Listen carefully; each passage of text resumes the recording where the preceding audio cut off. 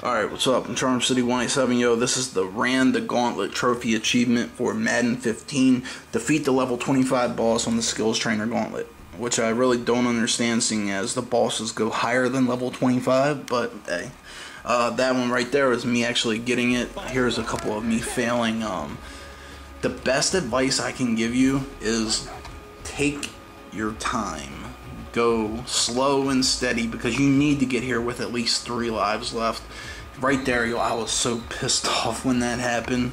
But, um, yeah, take your time. When you get to the first two guys, you have to make a decision. Do you want to go right or left? And use, um, use the photographers to your advantage because they will slow down the, uh, other people trying to tackle you and they your guy just runs straight through them they don't they don't affect you at all.